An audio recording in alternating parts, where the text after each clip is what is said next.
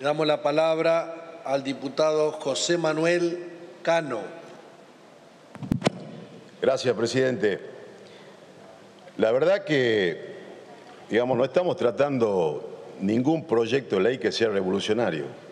Digamos, hay que ser muy ingenioso para utilizar y para tratar de contextualizar que esta noche estamos tratando un proyecto revolucionario. Le diría más, presidente, que estemos debatiendo este, esta noche este tema acá es absolutamente innecesario, presidente. Absolutamente innecesario, porque como bien dijo la diputada Brenda Austin, estamos retrocediendo con la eliminación del artículo 22 bis. Yo le diría que el Congreso, que las distintas fuerzas políticas, ya desde hace bastante tiempo tienen voluntad de avanzar en el, en el cuidado y en la preservación del medio ambiente.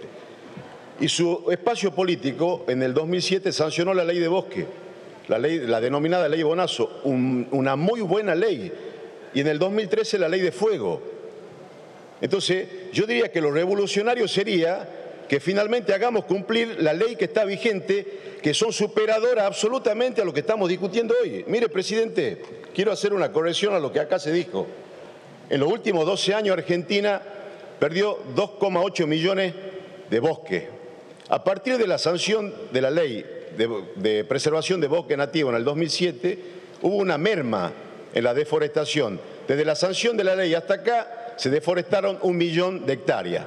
Ahora, nosotros como miembro del Congreso, el Congreso debería garantizar que los temas que nosotros discutimos y las leyes que se sancionan se cumplan. Yo le voy a dar alguna cifra, presidente, para demostrarle por qué no hace falta que discutamos lo que hoy estamos discutiendo y si hace falta que pongamos énfasis en hacer cumplir las leyes que fueron iniciativa de su propio espacio político. Mire, la ley de control del fuego, de manejo de fuego, una ley que tiene todo lo que, lo que tiene que tener una ley para evitar los incendios, para trabajar coordinadamente, que pone en valor el Consejo Federal de Medio Ambiente, que se fijan los presupuestos. Ahora yo le quiero decir, ¿por qué no funciona esa ley? En mi provincia tuvimos incendios también. ¿Sabe quiénes apagaron los incendios? Los aviones del campo, los que fumigan, porque no tenemos aviones hidrantes y porque en la región tampoco hay aviones hidrantes. Ahora mire usted lo que es el presupuesto desde que se sancionó esta ley. En el 2019, 282 millones de pesos. Para el 2020 estaba previsto en el proyecto original, que no se aprobó, la prórroga del 2019 a 441 millones de pesos. En el presupuesto que ustedes aprobaron para el año 2021, 282 millones de pesos. Lo presupuestado, el mismo monto que en el año 2019. Vamos a la ley de bosque.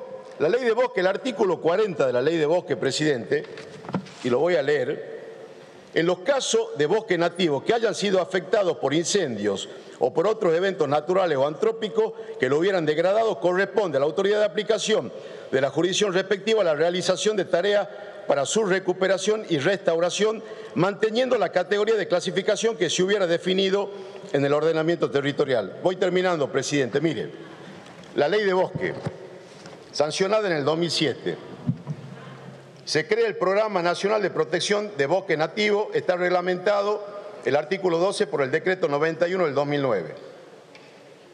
El fondo, la manera en la que se crea el fondo, el artículo 31 de esa ley aprobada en el 2007 no está reglamentado, presidente. Vamos a hablar del presupuesto. El presupuesto para el 2021, 1.200 millones de pesos. Si aplicáramos lo que dice la ley, debería ser exactamente el doble. Programa Nacional de Protección de Bosque Nativo, 2021, 25 mil millones de pesos. Presupuesto del 2019, 25 mil millones de pesos. Presupuesto del 2020, 25 mil millones, de, 25 mil millones de pesos. Quiere decir que lo que nosotros, lo que el Congreso vota con un criterio de que efectivamente cuidemos el medio ambiente y estemos a la altura de, eh, de digamos, de cuidar a las futuras generaciones, después no lo cumplimos porque no le asignamos los recursos. Entonces, esta ley no tiene nada de revolucionario, esta ley atrasa, presidente. Y yo le diría que nos eh, comprometamos todos a hacer cumplir la ley de bosque nativo y a hacer cumplir la ley de fuego, que como le dije al principio, son iniciativas de su propio espacio político. Muchas gracias. Muchas gracias, diputado Cano.